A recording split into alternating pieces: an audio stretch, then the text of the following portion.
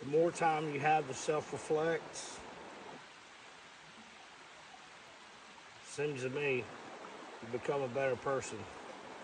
So if somebody ever tells you, how much time do you need to self-reflect? As much time as I need.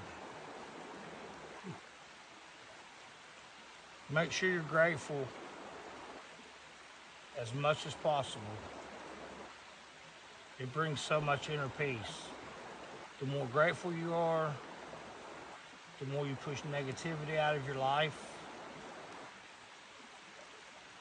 And things just seem to be so much more peaceful.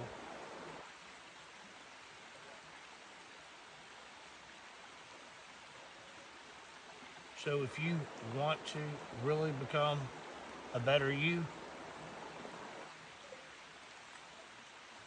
take time for yourself. Just trust me. It improves everything around you.